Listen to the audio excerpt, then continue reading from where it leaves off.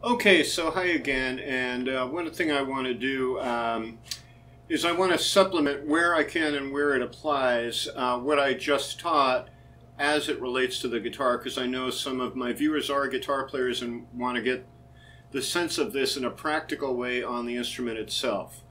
So uh, we're going to discuss intervals for guitar. All right, let's start at the top. I don't need these headphones, so let's start at the top. Um, going to adjust this though, so we get the neck of the guitar in. Okay, we're good. All right, the top is we talked about seconds. Now, if we do seconds on one string from B to C, well, you can see they're right next door, and there's no note in between the two notes. So that means uh, it's a, it's a half step which is also known as a minor second. Now here's one, one of the many reasons why guitar is so counterintuitive. If I did that B to C interval between two strings, it would look like they're a far distance away. For example, here's B, here's C.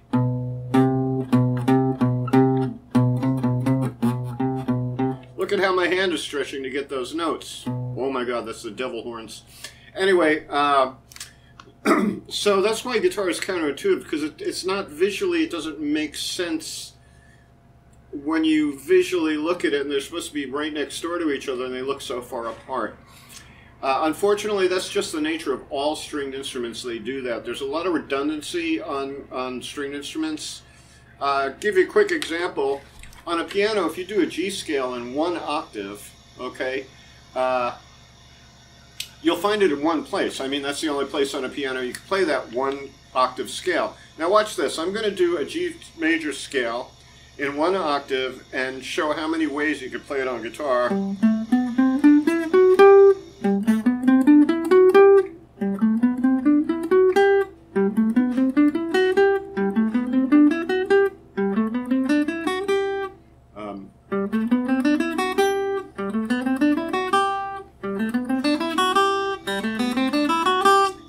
Insane, okay?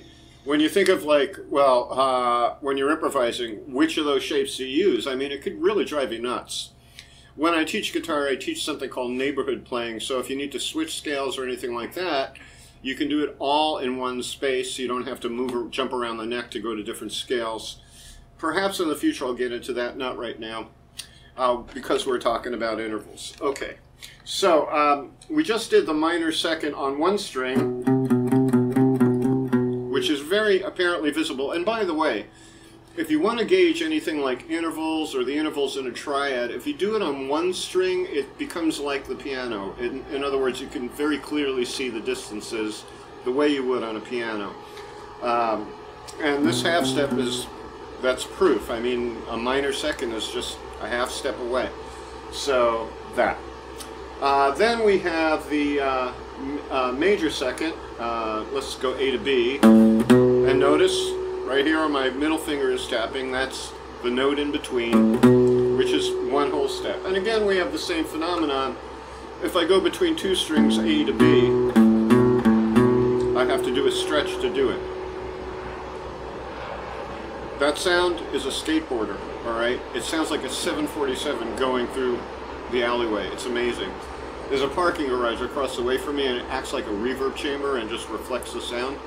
It's really great for getting sleep late at night when these skateboarders go by. Also, it's really nice is when the big garbage trucks are right under my window. I love that. Life in the urban world. Okay, so continuing on. So we just covered the seconds, and by the way, you know, I talked about inverting intervals. We'll do that in a moment, but first I want to get to each category. The major third on one, uh, the minor third on one string would be a step and a half. And you might recognize this from the pentatonic shape. If we were to gauge this in intervals, we got a minor third there, whole step. Uh, that's a major second, minor third, and I'm going to show you that major second, minor third, major second, whole step, minor third, step, minor third, okay? You see how quickly I could do this? You should train yourself to do this. You may not think it's important, but once you understand the structure of scales and chords and things like that, the more you're able to visualize this and process this quickly through visualization, not through words in your head, through visualizing it, you'll be able to really move through the more jazz type situations where you do have to modulate um, and go through two fives, which are two five is, is something we were taught in jazz school. Two five moves you to a different key. We'll talk about that. Don't worry about it. That's on Mount Everest, though. So let's just stay with this right now. All right. Uh, so we had the minor third, and uh, for guitar players, I'd say this: when you move between two strings, let me move up here. So that's A to C. That's a minor third. A to C between two strings is this shape. Memorize that shape. That's important. Any any interval you can get between two strings, you should memorize. And in fact, even skipping strings like. Uh, well, I can't do it with a with a minor third. I'll get to it later when we get to uh, and sevenths. All right, so major third. All right, this is the first part of a major chord. A major um, major third. There's the root. There's a third. And if I were to go to the fifth, it's a minor third.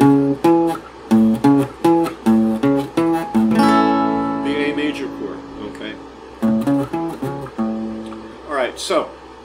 Uh, major third, again, this should be memorized between two strings, is this distance. And by the way, when you go up the scale in harmony, like harmonizing thirds, you're going to encounter, by, by the nature of the shape of the scale, you're going to encounter both major thirds and minor thirds as you travel. I just showed you the minor third, and here's the major third. Now, I'll do an A major scale harmonized in thirds. Watch as you'll see this interval and this interval.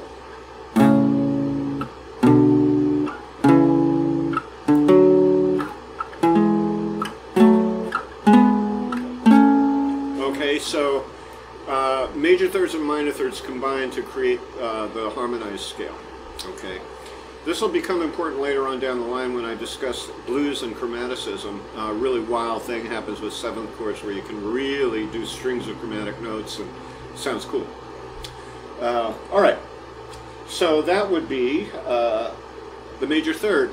Now we have the perfect fourth, and this is also very important in oval guitar. Why? Because the distance between the E string and the A string, perfect fourth. A and D string, perfect fourth. And you know from, if you learn basic tuning without using an app, but manually tuning the guitar, uh, E, F, G, A, there's the A note, and then you tune it to the A string. All right, I always tell my students the fifth fret in general is very important on guitar. Um, I make them memorize permanently. If they can't remember any of the other notes on the neck, memorize permanently that that's an A note. All right. Uh, maybe I'll get into that in the future, like specific guitar teaching. All right, anyways, uh, so perfect fourth, right, is the distance between the E and the A string, the A and the D string, the D and the G string, and the B and the E string. And you might notice I skipped the G to B string. Doesn't sound like a fourth, does it? It's singing. Right? If I was doing fourths like that, it would sound like this. It's sing-songy as okay. So again remember that sing-song equality of thirds and flip thirds which are sixths okay? All right now so one thing you could see is that if you bar any two strings the E uh, at the third fret I'm barring G to C. If I were to count up the G scale I go one two three four and that's whole step whole step half step two and a half steps is a perfect fourth you get perfect fourths when you bar between two strings except for the G and the B. Now, uh, let's discuss that for a second. If I do this, how, how come I don't get a perfect fourth? Well, you have to remember, when you go through manual tuning, when you get to the G string, you go to the fourth fret, not the fifth, right? Well, that lowers the B string, so you have to compensate up the note. So instead of doing uh, this to get a fourth, like barring, I have to bring the B note up one, and now I get a perfect fourth, okay? And uh, let's go down here and do that. See that? Well, if we do a D chord, you can see the perfect fourth inside the D chord and the major third up top. And by the way, here's, that's the sixth,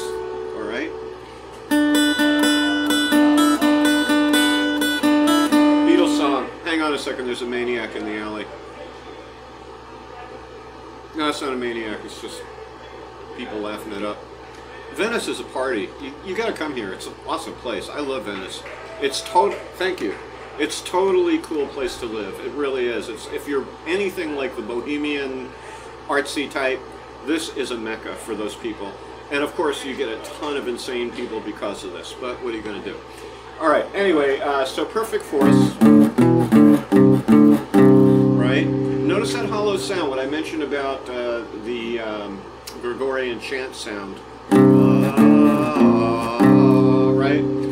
We also get that hollow sound out of fifths. And why? Because a fifth is an inverted fourth.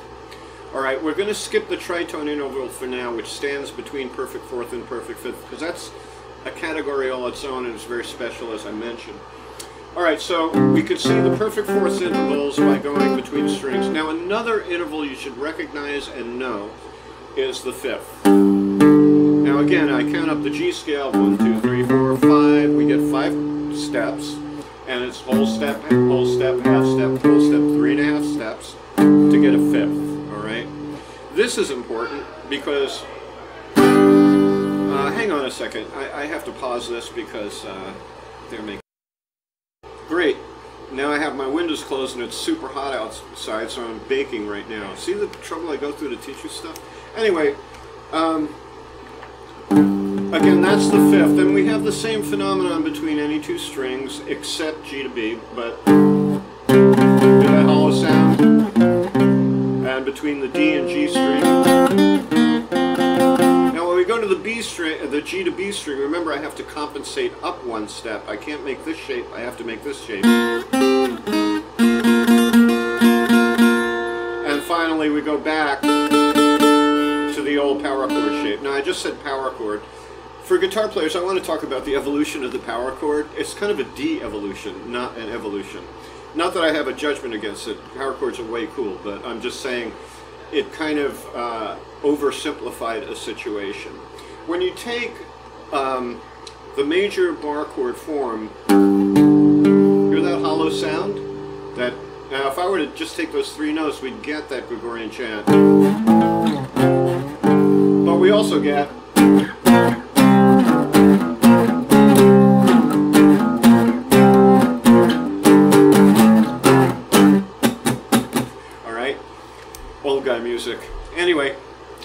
so that's the power chord sound. I will say just a quick remark is that in the 90s, uh, the metal guys and some of the what they called alternative rock at the time were tuning their E string down to D. And what that does is it creates instead of fourth between the instead of creating a fourth between the E and A string, well the E is now a D string. So it creates a fifth. D E, F, G, A. One, two, three, four, five. All right? And now if you do what was once the fourth shape now becomes the fifth. And in a lot of that metal style you can hear that growl because the E string is so deep and low. Some guys go so far as to tune their E string, um, well they, they tune normally except a whole step lower. So uh, basically you tune your E down to D and then follow the manual tuning steps and get it all tuned in that sense. Then they lower that D note down to C and that's really growling. It kind of has a dark satiny sound that doesn't particularly turn me on, but there are a lot of guys that like that sound. And, you know, God bless you, whatever. It's all good. Remember, music is benign. It's not going to hurt you, okay?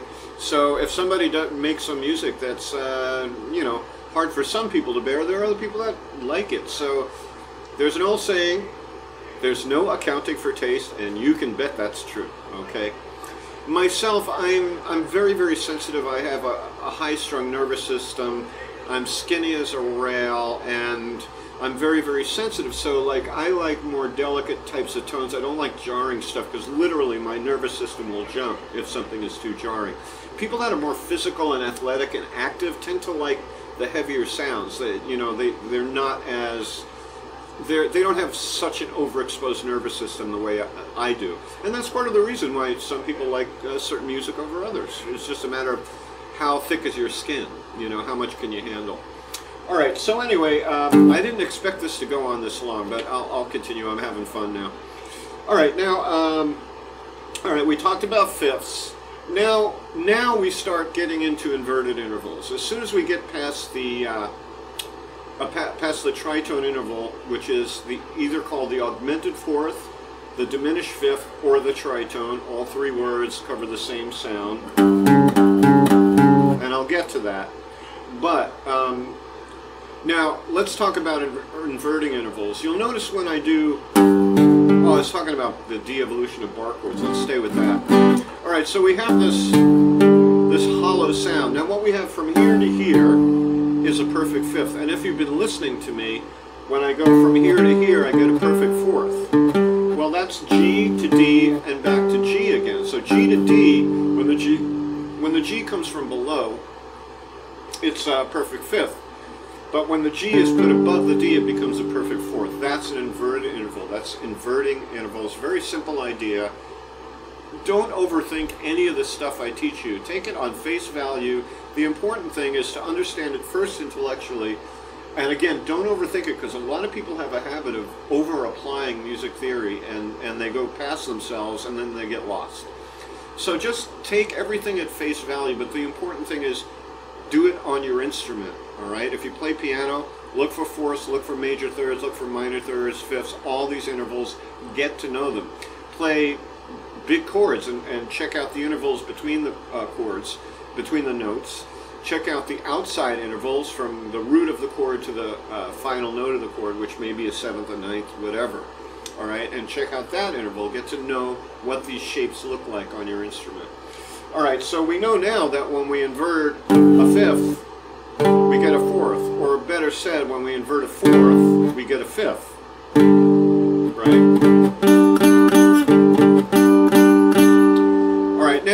Sixth is an inverted third. And there's a formula for uh, de determining is it a minor six or a major six, and you could do this with any interval except for the perfects and the uh, tritone interval. What you do is, um, if you're inverting, say, let's use the example major third, okay? If you invert it, uh, it becomes what's called a minor six. So what you do is you take the quality major and you turn it into minor, and then you take the number nine and subtract that uh, the the three from the nine. In other words, we're talking about major thirds, so we subtract three from nine gives us six, and we take major and turn it into minor. We get minor six. I hope that makes sense. So now here I have G to B, and remember the sing-songy one. That's the most sing-songy interval is the third and the sixth. All right. Now if I take this G this G note over here and put it in the high octave.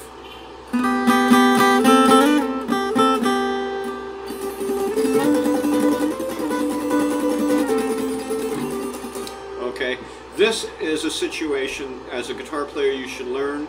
Uh, we're going to go to the modes later. You should learn to do this in all seven modes, but I'll play a major scale for you. And again, we're going to find two shapes, major shapes and minor shapes. So here we go.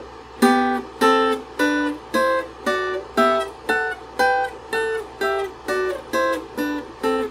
there's plenty of songs that came out of the 60s. In fact, I was, uh, I'm friend, well, he's passed away, rest in peace, but I, I was friends with the guy who was the pioneer of sixths on guitar when he was a session man in New York for Bob Dylan.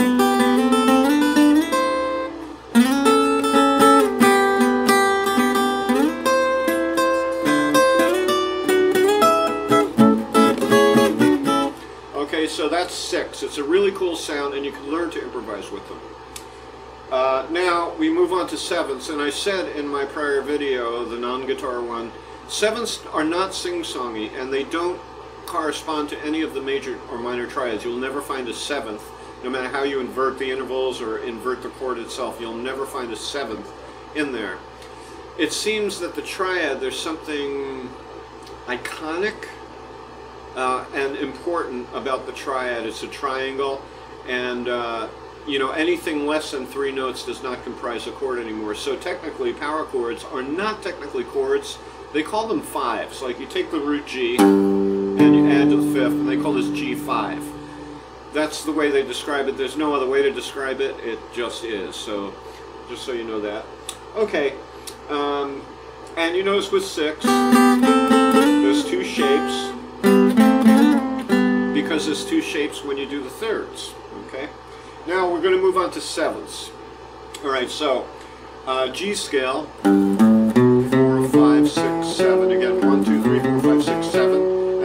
G, I get that sound. Now. Now that sound was actually, I can't think of the name of the song, in the 90s a lot of guys were using this major 7 sound. But if you do an entire scale with major 7ths and minor 7ths, it sounds not sing-songy. However, as a separate entity, it sounds kind of cool. Alright, now, so let me do the scale in minor and major 7ths. Sorry.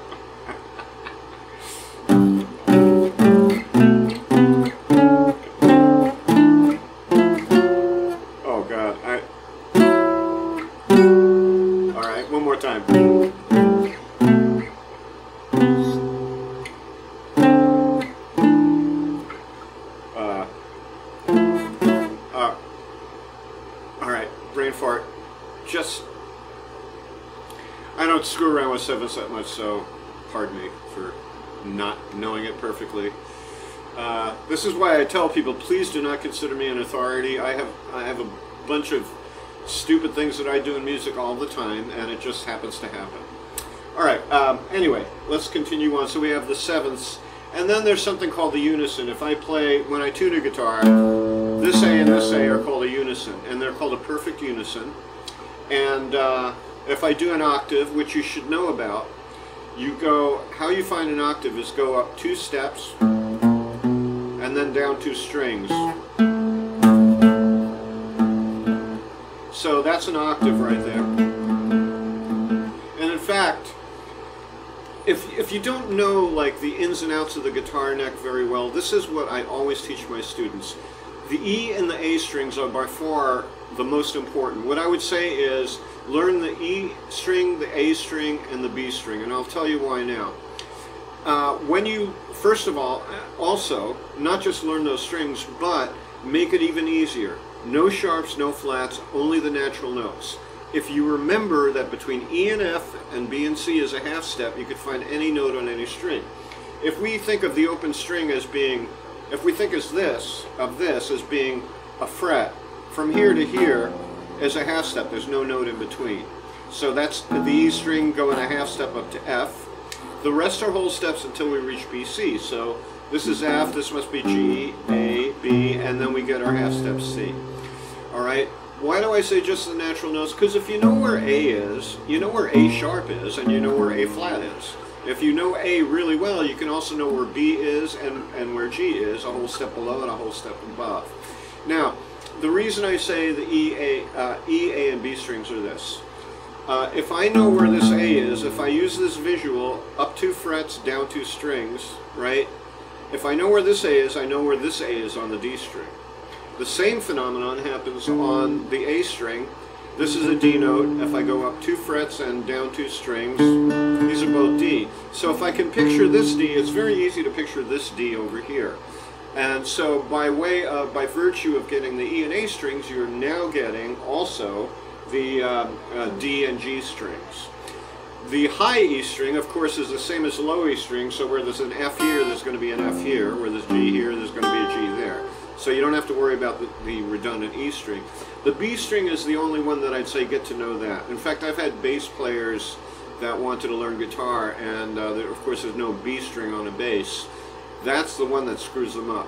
So get to know your B string natural notes. Uh, all right, now let's look at a bar chord in terms of intervals. So the first two strings, that's a perfect fifth. Remember the power chord shape. Then the next two, that's a perfect fourth. You remember you could bar that.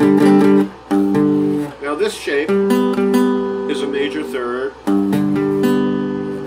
This shape is a minor third. Remember I said the uh, major chord consists of a major third and a minor third. And by the way, if uh, this weird thing about music is it's asymmetrical.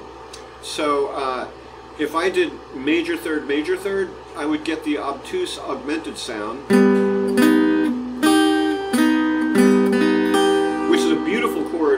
Was used a lot in, in early Beatles music, but it's not the kind of chord you could vamp on. You can't go and sing a nice melody over. It's kind of weird. It's obtuse. What it is is a transition chord. G major, G augmented, C. All right. So the augmented chord, by the way, is major third, major third. Okay. All right. So getting back, uh, the G to B third, as I said, and then we have this shape. What's that? Perfect. Fourth. Good. You got it. Okay. And also, you can look at a chord uh, by skipping strings. Here's an octave. Here's a sixth. Uh, from G to G on the D string is an octave. From D to B, A string and G string is a, a minor, uh, major sixth. Uh, is that right? Yeah, it's a major sixth. And then uh, from G to D, as I skip the strings, that's a perfect fifth. We didn't talk about skipping strings to make these intervals. A little bit of experimentation will give you that, but you should know how to do that too. Okay, and uh, finally the uh, G to E string. That is a um, minor sixth all contained within this one bar chord. Okay. Now, one thing I, before I go, I just want to point out one thing. We talk about triads as comprised of three notes, but we have six strings on a guitar, so how is the C chord? I'm playing six notes. How could it be a three-note chord? Redundancy, redundancy, redundancy, and not to be redundant, I just want to say redundancy again. Okay, now, the C chord is comprised of C, E, and G. Remember that as I go down the strings. G, C, E, G, C, E. All C's, E's, and G's. What you're, what you're getting are repetitive octaves in higher and lower registers. So that's uh, basically why you play six strings, but you're playing a triad, a three-note chord. All right, I hope all that makes sense. I gave you some extra stuff besides intervals. That's the way I teach. I kind of go on these side trips.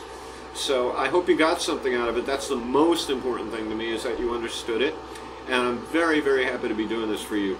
Uh, take care and have a good day, night, or morning. Bye-bye.